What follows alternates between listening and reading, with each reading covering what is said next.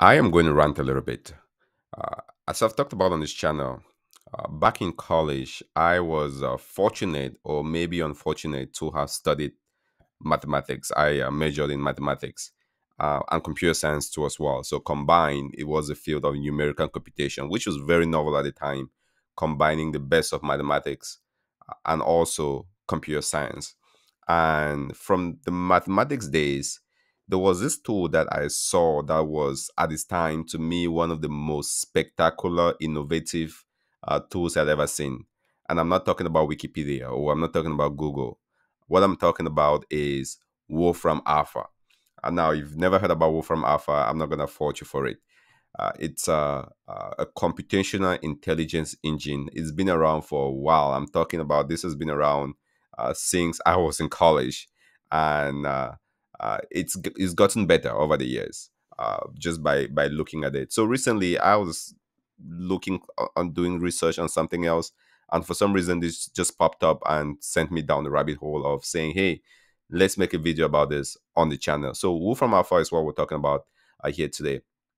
It's been around for a while, and we're gonna go through, take a look at it. If you've never heard about it, I'll highly encourage you. It's one of those nifty tools that uh, either might be useful for you or might be useful if you have kids and they're going to high school or to be going to college too at some point.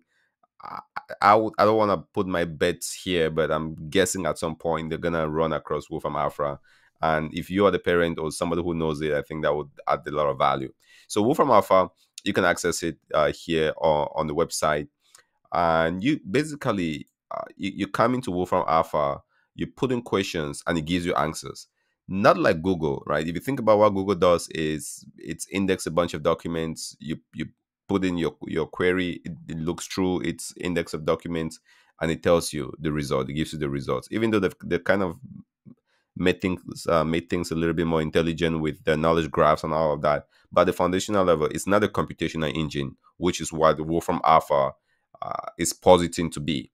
So here you can come into Wolfram Alpha and ask questions and it should solve that for you. So a very simple question could be say uh, seven and they really are good and, uh, and the reason why i knew this for my math days was because of this math uh, uh, its math capabilities so you can put in questions with natural language and wolfram alpha is to solve that for you by the way wolfram alpha wolfram i believe is the person who started it um, his name might be Stephen Wolfram, if I'm not, if I'm getting that right.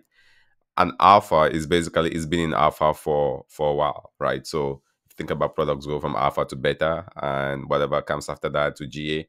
Uh, this has been in alpha ever since 1988 or whenever they started this, and uh, I encountered it back in college. So that's where you see the Wolfram Alpha. Uh, but going back here, uh, you put in questions with natural language. It really has a good natural language engine and it gives you the result, but not just the answer, right? Seven times five. Uh, if I went to Google and I did seven times five, for example, let's go to Google and do seven times five, it can give you the result. But the difference between this and what you get from Wolfram Alpha is it just gives you more context uh, to that. It gives you more context, uh, more flavor. At least that's what it it uh, uh, it's uh, uh, its position uh, to to be. All right, so uh, let's go back uh, here. And they also have things categorized uh, into different areas uh, if you want to get step-by-step solution. So we did 4 times 7, you can get a result. Let's do uh, this. Let's just take this example here that they have. So if you are doing some algebra in grade school, at some point they're going to give you something like this to solve, right? Think about BODMAS and how do you solve something like this? Let's actually try Google just for once here. I haven't tried this, but let's just try this in Google. Uh, Google, it seems to give us a result. I don't know if this is correct or not. I haven't tried it, but it gives us uh, apparently a result. And is that the same 33.16? Yep, that's uh, the same uh, result. But the difference is how did this get to the result? How did Google get to the result? It's not a computational engine. I don't know how Google got this result, but it's not a computational engine. Wolfram Alpha gives you the result, but also the steps on how it took uh, to get to that result. So if you imagine you have a, a youngster that is learning and want to understand the steps on how to get there, uh, this uh, provides more context more so than you get uh, just naturally with uh, uh, with Google. You can do math math equations. So let's take um, if you want to put in math equations, they have a, a, keyboard for for typing. If you want to do uh, integrals, uh, who remembers integrals? right x the x y and all that stuff right you can go in and, and do all of that I'm, I'm i'm just showing the functionalities here so for the average day person run of the mill uh, this might not be very useful to you but in academia i can say this is a big this is a this is a big deal uh, for folks that are looking at it now why did this really pique my my interest uh, again on, on warren uh, uh, this video because what we're seeing is that the rise of the GPT-3s and the language models of the world is making something like Wolfram Alpha almost fall to the to, to the backside, at least in my in my purview, in my in my humble opinion. Uh, because with GPT-3 and those language models, you can ask a question and you get long form text, natural language, right? So I haven't really tried the uh, uh, the, the, the natural language processing here, but let's just try something, right? Uh, uh, a poem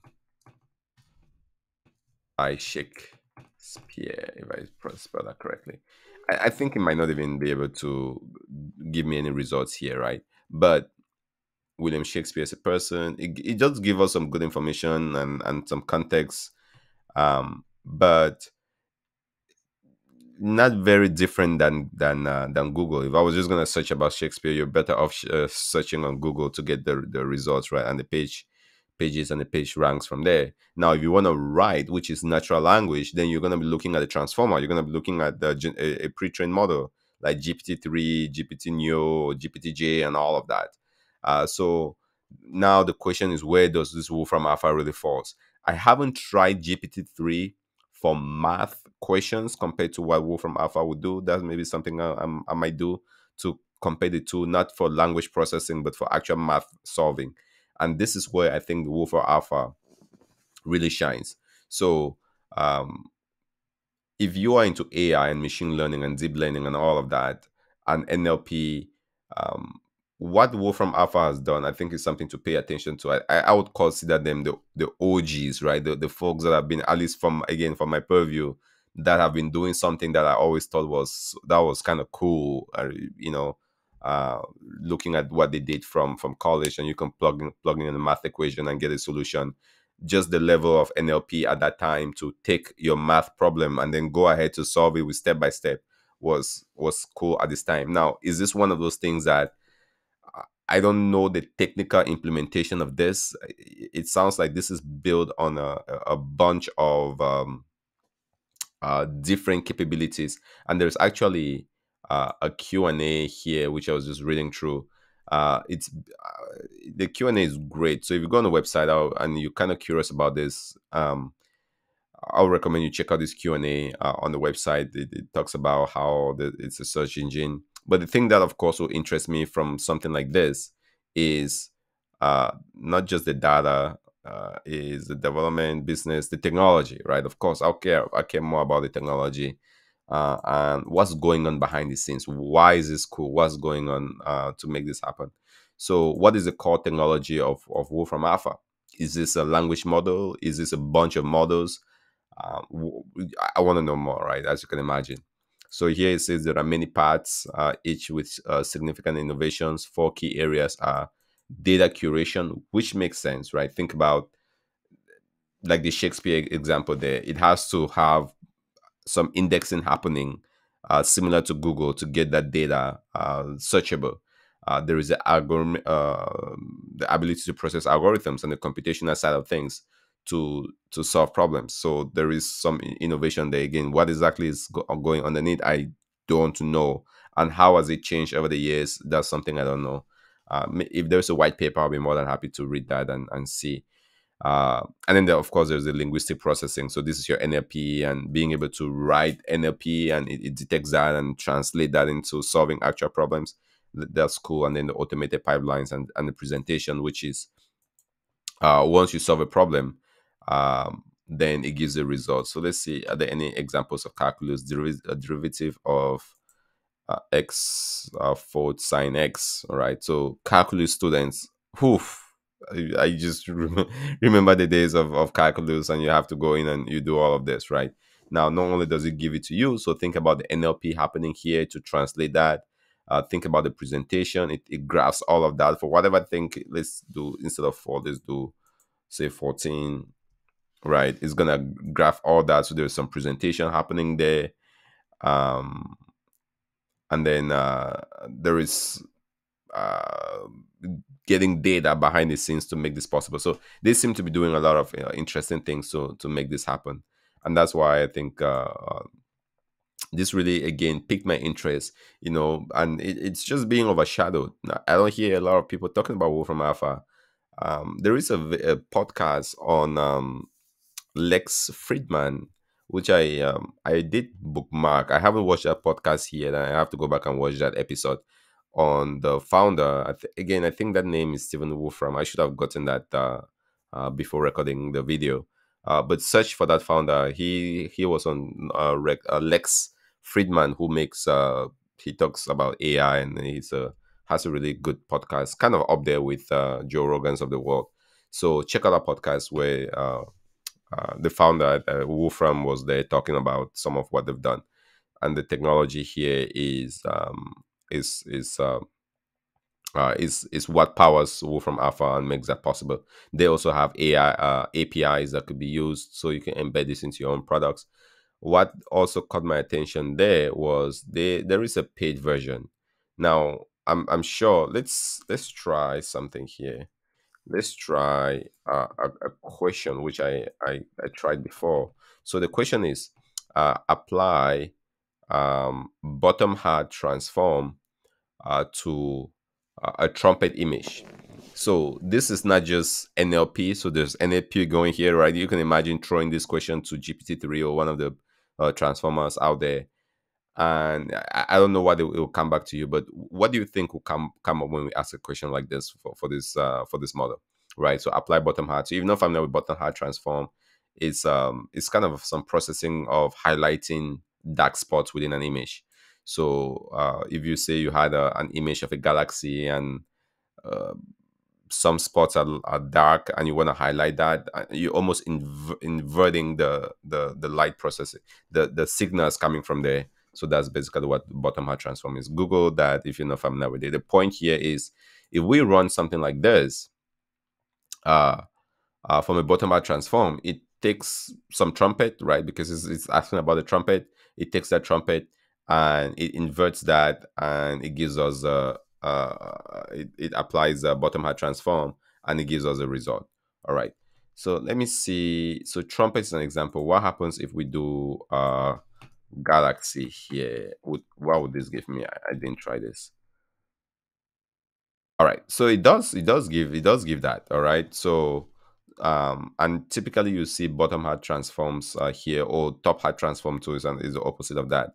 Uh, it takes that and there are dark spots because if a, a telescope is taking this image um you can't really see you can't really see this right? But once you invert that and highlight the dark spots with the with the transform, you can it's clearer for you to see uh, see see the image, the stars, and the, the different uh, uh, objects out there. So uh, this is interesting. Now, what of course, what I wanted to do with this was, all right, if they do that, can I go ahead and upload my own image? But apparently, I can do it. So you might require a paid version to to do something like this, but what fasc- fascinates me most on this is the computational engine side of things. So I just it's a it's a little bit nostalgic to to see um, the, the the the all the the fanfare going to to the transformers uh, and for good reasons because there's a lot of innovation happening there but this wolfram alpha has been around for for a very long time and i really encourage you to just check it out play with it um, if if nothing else, I think it could just be uh, one of those platforms you come in there to to to learn and, and tinker. I know not everybody's a nerd like uh, like me, but uh, uh, it, it, doesn't hurt to play with it. So coming here, it talks about um, uh, a tour. So this is a page for a tour. Um, you can uh, do analyze molecules you can come in get step by step so these are basically use cases that uh, you could use uh, wolfram alpha for at home you can uh, put in uh, 10 peanuts of m&m let's see. This is interesting. So 10 peanuts of m&m how many calories does that have? Uh, let's go to let's go to natural language and we would run that. All right. My screen doesn't seem to be behaving here so let's just reset everything back. So 10 peanuts of m&m and it, it does give us the it does give you the the nutritional facts of that. Right. How accurate is this? So when was that updated? Uh, i i have no idea. All right. Um uh, one tilapia.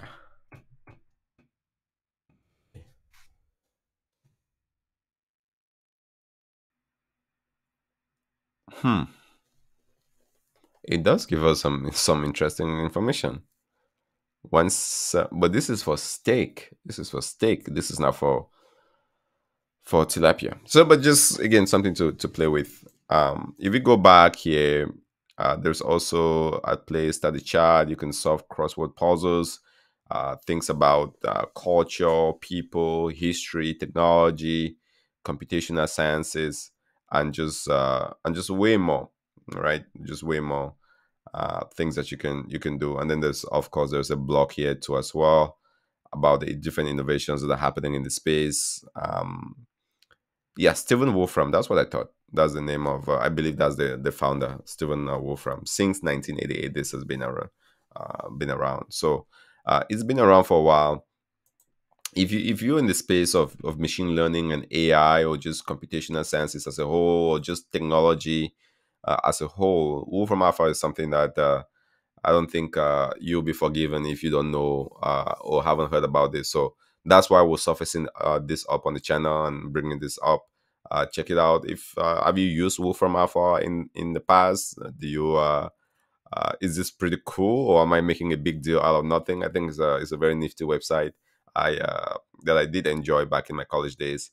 Um, and I'm gonna keep an eye on it. I'm gonna keep an eye, and I'm gonna go back and listen to that talk uh, from um, from Lex uh, Fridman's uh, podcast that uh, Stephen uh, Stephen was there. Stephen Wolfram was there talking to just get an update. Uh, just because this space there's so much going on, NLP and machine learning, deep uh, uh, uh, deep network, neural networks, and CNNs and GANs, and you name it. Um, and Wolfram Alpha already has that name, and if they could embed some of that naturally into their product, again, I don't know the exact technology and what they're building on. Maybe they did GANs or neural nets long time ago before, or, or transformers long time before everybody figured it out. I don't know how they make this all work, but uh, it'll be very interesting to to see where this all goes uh, as we go. But uh, I, I think it's a it's a just a little nifty, um, not a little, but just a very nifty uh, uh, uh, product to check out and to have uh, on your list. Uh, so thanks for watching. Hopefully this was helpful. Uh, as always, um, it's amazing for everyone sticking to the end. Uh, you have been very awesome. I have been through. I was